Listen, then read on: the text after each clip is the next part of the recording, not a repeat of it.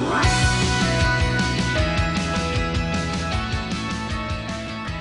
We're here today waking up the um, people of Northern Ireland to Shetland ponies and porridge and Irn-Bru just to um, wake them up to Scotland and with the tastes and the sounds and the smells um, of Scotland to just remind them that we think Scotland provides the perfect antidote to the Sunday night dread. We're here this morning in, in, in Belfast City Centre to talk about Sunday night dread, which was um, some really interesting research carried out by Visit Scotland to see um, how people feel on a Sunday night, that sense of dread about maybe not actually doing anything fun at the weekend, um, or that the weekend just flew by. So three quarters of Northern Ireland workers actually said that they actually felt the Sunday night dread. I have experienced the Sunday night fear. I just woke up on a Sunday and felt I haven't really done anything with my weekend and I've just kind of wasted it sitting on the sofa. So I'm really surprised to see Shetland ponies in the middle of Belfast.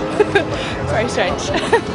because usually any Monday morning it's pretty grim getting into Belfast or any other workplace, but it was good seeing the ponies because I'm into my animal welfare and I like animals and they give me a step this morning, it gave me a step in the going to work so I did I really like seeing them. They're beautiful animals. I listen to Radio Ulster every morning and uh, I heard the discussion that you were having in front of the City Hall with the ponies, the little Shetland ponies, and I was looking forward to meeting them.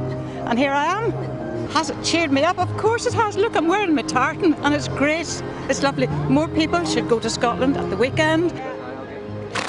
Oh. That's right.